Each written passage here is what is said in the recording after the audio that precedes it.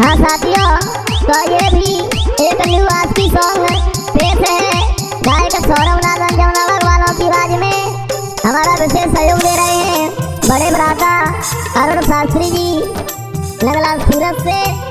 और पास में बैठे हुए हैं बड़े भाई वो भी यादव बुरा भाई से।